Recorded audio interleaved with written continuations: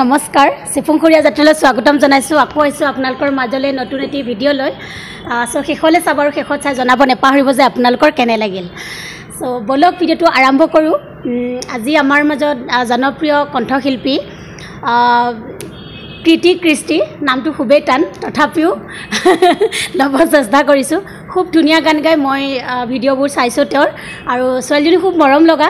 গতিকে আপোনালোকৰ আগত চিনাকিটো কৰি দিয়াৰ প্ৰয়োজন নাই। তথাপিও চিনি পাই যেতিয়া তথাপিও মই কৈ দিছোঁ। কৃতি কৃষ্টি। চ' মই কৃতি কৃষ্টিৰ ওচৰলৈ আহিছোঁ। আহ, কেতিয়াৰ পৰা গান গাইছে তেওঁ বা কি কি কৰিছে। চ' বলক ভিডিঅ'টো আৰম্ভ কৰে। কৃতি তোমাক পোনপ্ৰথমে ধন্যবাদ জনাইছোঁ ইমানখিনি সময় দিয়াৰ বাবে আৰু বহুত দূৰৰ পৰা আহিছা। আহ, আহ, দেৰিকৈ হ'লেও হোলীৰ শুভেচ্ছা জ্ঞাপন কৰিলোঁ। আৰু আহি থকা ৰঙালী বিহুৰ শুভেচ্ছা জ্ঞাপন কৰিলোঁ। বহুত ধন্যবাদ আহ, কৃতি নামটো যদিও ভুল হৈছে ক্ষমা কৰিব তথাপিও ক'ব চেষ্টা কৰিছোঁ।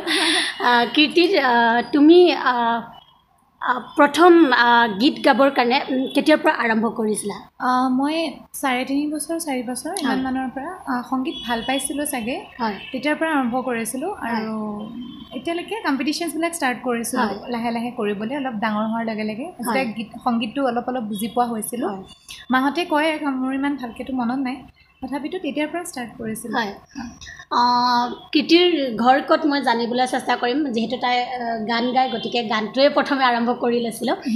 কৃতিৰ সম্পূৰ্ণ মানে ঘৰ ক'ত কি গোটেইখিনি তুমি অকণমান ধুনীয়াকৈ বহলাই। পেলাই ক'লে মই ভাল পাম। আৰু। ঘৰত কোন কোন আছে? মোৰ ঘৰ নগাঁও চকলাঘাট নামৰ ঠাইটুকুৰাত আৰু বৰ্তমান আমি মাহঁতৰ মা মই দেউতা আমি। তিনিজন আমাৰ ফেমিলিত আৰু আমি নগাঁও আমলাপট্টিত বৰ্তমান থাকোঁ।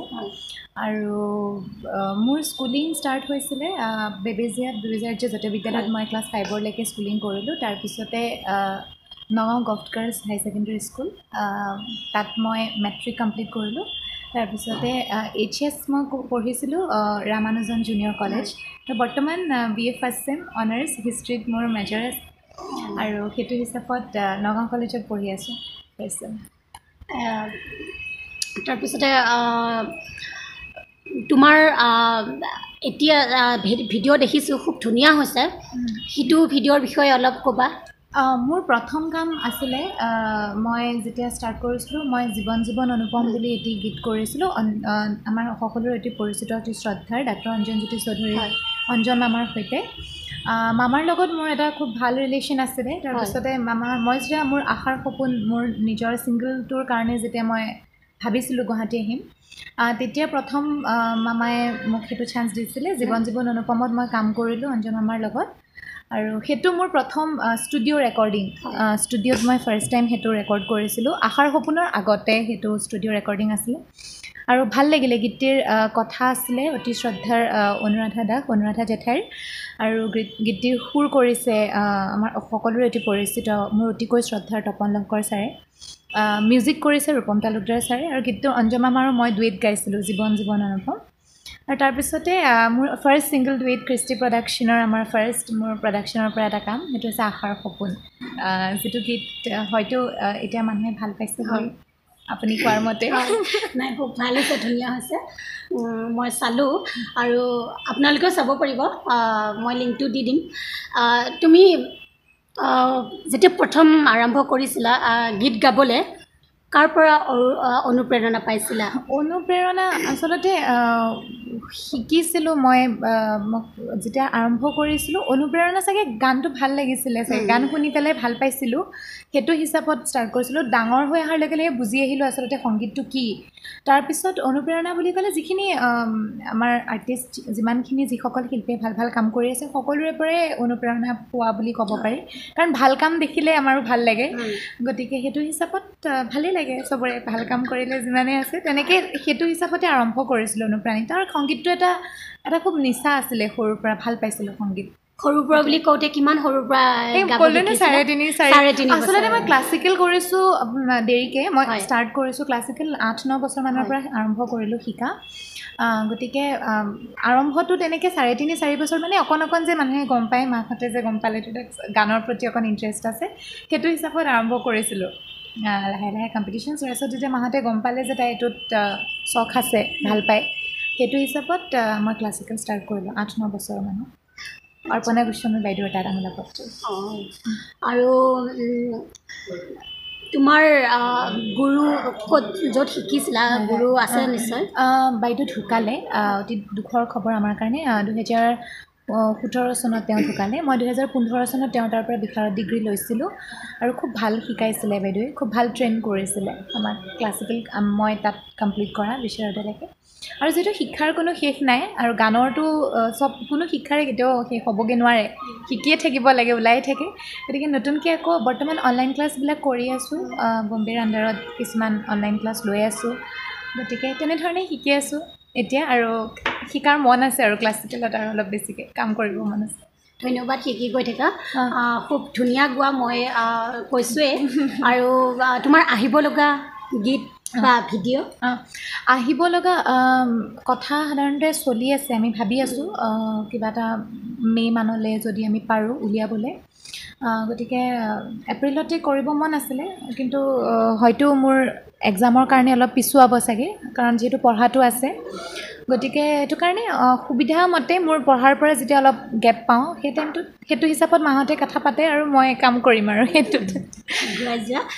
তো এতিয়া তোমাৰ যদি তুমি অকণমান বেলেগ এটা প্ৰশ্ন কৰোঁ আৰু। যদি তুমি কণ্ঠশিল্পী নহ'লাহেঁতেন যদিও তুমিতো বহুতখিনি পঢ়িছা কিবা এটাতো লক্ষ্য আছে। কণ্ঠশিল্পীটো হৈছাই তথাপিও কণ্ঠশিল্পী যদি নহ'লা হয় কিবা আৰু বেলেগ ভাবি থৈছা নেকি? মই এনেও মানে কি হয় মই সংগীত আৰু পঢ়া দুটা বেলেগ বেলেগ জেগাত ৰাখিছোঁ। সংগীতৰ ক্ষেত্ৰখনতো অলপ বেলেগ এটা এইম আছে পঢ়াখনতো এটা বেলেগ এটা এইম আছে। দুইটা সমানে মিলাবৰ কাৰণে চেষ্টা কৰোঁ। পঢ়াৰ ক্ষেত্ৰত মই যদি কণ্ঠশিল্পী নহ'লোঁ হয় চাগে মই ডাইৰেক্ট পঢ়াতে ফ'কাছ কৰিলোঁহেঁতেন চাগে তেতিয়া। অকণ লিখা মেলা কৰাৰ অকণমান চখ এটা আছে। অকণ লিখাটো গ'লোহেঁতেন চাগে যদি কণ্ঠশিল্পী নহ'লোঁ হয়। কবিতা অলপ লিখাৰ অলপ মন আছে। গতিকে যদি চাগে মই কণ্ঠশিল্পী নহ'লোঁ হয় অলপ লিখা মেলাত গ'লোঁ হয় চাগে। আৰু হেৰি এনেই মই পঢ়াৰ ক্ষেত্ৰখনত যিটো মন আছে সেইটো বাৰু পিছত ক'ম কেতিয়াবা। দুইটা কৈ নিদিওঁ। ইমানখিনি কথা পাতিলোঁ এতিয়া মই কবিতা কবিতাৰ কথাত আছিলোঁ তুমি কবিতা লিখোঁ বুলিও কৈছা গানৰ লগতে গতিকে কবিতা এটাতো নুশুনোৱাকৈ মানে। মই নুশুনাকৈ নেৰোঁ গতিকে কবিতা নিশ্চয় শুনিম গানৰ লগতে। চ' কবিতা এটা শুনিব বিচাৰোঁ। মই অলপ শুনাইছোঁ হা, মোৰ মনত নাই তেনেকৈ মোৰ মোবাইলত। অকণমান একো নাই। নিজৰ অস্তিত্বক ভালপোৱাৰ প্ৰতিশ্ৰুতিৰে দিঠকৰ নিৰ্মম বাস্তৱতাক মনৰ সৰলতাখিনিৰে অন্ততঃ এবাৰ হ'লেও জুখি চাবৰ মন। নিজৰ অস্তিত্বক ভালপোৱাৰ প্ৰতিশ্ৰুতিৰে বিষাদৰ বৰষুণজাকৰ পিছত ওলোৱা সাতোৰঙী ৰামধেনুখন নিজৰ তুলিকাৰে আঁকি লোৱাৰ মন। ধুনীয়া হৈছে। নিশ্চয় আৰু খুব ধুনীয়া হৈছে। এতিয়া গানৰ মাজলৈ যিহেতু আমি গানৰ গান গোৱা ছিংগাৰ হিচাপেহে চিনি পাওঁ। গতিকে গান ধুনীয়াকৈ গায়। গতিকে আমি আৰু এটা লগতে কবিতাৰ লগতে আৰু এটা গান শুনিব বিচাৰোঁ। গান শুন শুনাবানে? এতিয়া কবিতাৰ লগতে আপোনালোকক লগালগ এটা গান শুনোৱা। মই আমি খুব ধুনীয়া জেগা ন? সঁচাকে? আৰু বৰষুণ যাক পৰাৰ কাৰণে মানে খুব ধুনীয়া লাগিছে। মানে পৰিৱেশটো তাই খুব বৰষুণ ভাল পাই কৈ আছে। বৰষুণ দিয়াৰ কাৰণে মোৰ বহুত ভাল লাগিছে। গতিকে বৰষুণৰ বৰষুণ গান বৰষুণৰ অঁ মোৰ অনিন্দিতা পল। অনিন্দিতা বা মোৰ খুবেই প্ৰিয় কণ্ঠশিল্পী। বাৰ এটি গীত চবেই জানে ন? গতিকে খুবেই এটি মোৰ প্ৰিয় গীত আৰু সকলোৰে প্ৰিয়। এইটো অকণমান শুই থকা বননি দিলেহি জগাই সাৰ পালে সেউজী সেউজী শোভাই কপি উঠে কৰবাত চিনুপুৰ ৰুণজুন ৰুণজুন ৰুণজুন কৰে যাক সপোন যেন বৰষুণ ধূলিৰ উৰণি ঠেলি ভাহি আহে ভাহি আহে। কোমল মাটিৰ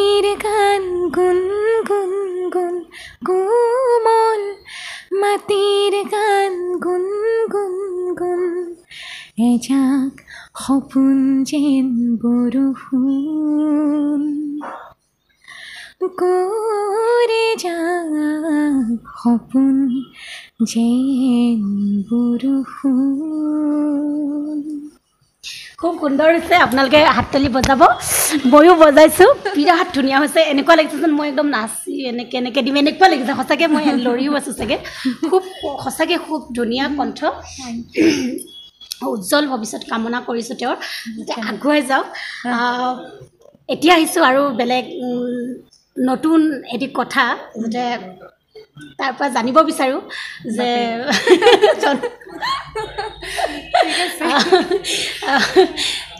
এই কি বুলি কয় নাজানো আৰু কি উত্তৰ দিয়ে। জন মানে আমাৰ অসমৰ সুধিম। অসমৰ ভিতৰত তোমাৰ তোমাক বাদ দি হা তুমিতো ধুনীয়া গোৱা গতিকে তোমাক বাদ দি আমাৰ নাই ন ধুনীয়া গাই ন লৈ দিব পাৰে। নাই একো নাই ধেমালি কৰিছোঁ এইখিনি।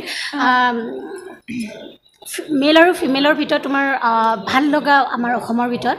অসমৰ বৰ্তমান হয়, যিকোনো মানে, নাই সকলোকে ভালেই লাগে তাৰ ভিতৰতে মেইল Singer, বুলি ক'লে অঁ। ছিংগাৰ জুবিন দা পাপন দাটো বিৰাট। একদম। আৰু বাকী ফিমেল বুলি ক'লে মোৰ ফিমেলৰ খুব বেছি মই এজনৰহে যাৰ- নাম ল'ব দিছিলোঁ কিন্তু। জুবিন দা আৰু পাপন দা আচলতে কি হয় নিজৰ নিজৰ জেগাত দুইজন বেলেগ বেলেগ ন। মানে তেওঁলোক দুইজনৰে অসমৰ প্ৰতি বহুত অৱদান আছে। গতিকে দুইজনৰে থাকক একো নহয়। আৰু ফিমেলৰ দু- দুগৰাকী অঁ। ফিমেলৰ তৰালী বাক ভাল লাগে আৰু অনিন্দিতা বাক বৰ ভাল লাগে। মই তেওঁলোকৰ পৰা আচলতে অনুপ্ৰা অনুপ্ৰাণিত হৈছিলোঁ আপুনি যে কয় কাৰ পৰা অনুপ্ৰাণিত হৈছিলে সঁচাকৈ ভাল লাগে। খুব সুন্দৰ হৈ গ'ল। এতিয়া লগতে আকৌ এটা যোগ কৰি দিওঁ। অভিনেতা অভিনেত্ৰী। বিশ্ৰাম। তুমি নিজেও অভিনয়। তাই তাই তাইও কৈ লওঁ তাইও খুব ধুনীয়া এক্টিং কৰিছে। কাৰণ কৰা। তাইৰ নিজৰ গানটোত মই দেখিছোঁ খুব ধুনীয়া হৈছে।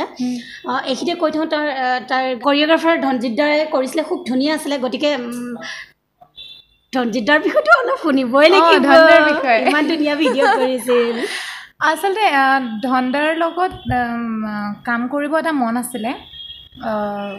তেওঁ সৰা পাতে পাতে টাইমত তেওঁৰ সেই কৰিঅ'গ্ৰাফিটো আমাৰ খুবেই ভাল লাগিছিলে দেউতাৰ আমাৰ চবৰে ফেমিলিৰে আৰু তেতিয়াৰ পৰা দেউতাৰ এটা প্লেন আছিলে যেতিয়া ফাৰ্ষ্ট মোৰ প্ৰজেক্ট হ'ব যিকোনো প্ৰজেক্ট ফাৰ্ষ্ট মই যেতিয়া ষ্টাৰ্ট কৰিম ধনদাৰ কৰিঅ'গ্ৰাফি এটা খুব মন আছিলে। সেইমতে আমাৰ ধনদাৰ লগত কণ্টেক্ট হ'ল আৰু খুবেই আচলতে কি কওঁ ধনদাই এক্টিং কৰিব নজনা ছোৱালীজনীক এক্টিং কৰাইছে প্ৰথম কথা। অভিনয় মই একেবাৰে মই অভিনয়ৰ লগত জড়িত নহয়। সৰুতে অকণ ক'ৰবাত নাচা নাচা কৰা কৰিছিলোঁ সেইটো বেলেগ কথা। কিন্তু অভিনয়ৰ মই অটো নাজানা টাইপৰ মানে। আৰু সেইটো হিচাপত যেতিয়া মোৰ মানে যেতিয়া শ্বুটিং হৈছিলে তো ধন্দাক এটা কনচেপ্ট ধন্দাই কৈছিলে তোমালোকে কি ভাবিছা কনচেপ্ট তো মই যিটো কনচেপ্ট দিছিলোঁ তাকে ধন্দাই মডিফাই কৰি দিলে। কৰি পেলাই একদম কাপল কনচেপ্ট এটা বনাই দিলে। ধনদা মানে ধন ধনজিৎ ধনজিৎ দাস অঁ দি দিছিলে কাৰণ নল'লেও হয় নামটো চিনিয়ে পায় ন চবে। চবে চিনি পায় চবে চিনি পায়। তাৰপিছতে তেওঁ মানে কি কৰিলে মডিফাই কৰিলে বস্তুটো। মডিফাই কৰি কিন্তু ধনে মোক জনোৱা নাই যে মই এইটো কনচেপ্ট ৰাখিছোঁ। শ্বুটিঙত. ছাৰপ্ৰাইজ মানে সাংঘাতিক ছাৰপ্ৰাইজ এইটো মানে সেই সময়ত মোৰ লাগিছে মই কেলৈ কৰিম বুলি কৈছিলোঁ। তাৰপিছতে সেই আচলতে ধনে চাগে ভাবিলে মই নাৰ্ভাছ কৰিম বুলি কাৰণ তেওঁ জানিছিলে মই এক্টিং কৰা নাই। তাৰপিছত চব হৈ গ'ল মোৰ কাষ্টিউম হৈ গৈছিলে মেকআপ হোৱা হৈ গৈছিলে চব হৈ গ'ল। ধন্দাই মানে এনেকৈ কয় মই ক'ম কনচেপ্টটো কৈ আছোঁ কৈ আছোঁ বুলি কয় ন নকয়। তাৰপিছত একদম। অঁ নাই নাই নকয় নকয় লাষ্টত মই কৈছোঁ মোৰ কি হ'ব এতিয়া কনচেপ্টে নাই। তাৰপিছত গুঞ্জন দাহঁতো আহি গ'ল যিহেতু গুঞ্জন দা আছিলে মোৰ লগত। তাৰপিছত গুঞ্জন দায়ো জানিলে হ'বলা কনচেপ্টটো মই তেতিয়ালৈকে গমেই নাপাওঁ। একদম কেমেৰা ষ্টাৰ্ট হোৱাৰ অলপ আগত দণ্ডাই কৈছে আমি এইটো এইটো ভাবিছোঁ। এইমতে তোমাক ল'ম। এনেকৈ কওঁ মই বোলো তুমি মোক আগতে ক'ব লাগিছিলে।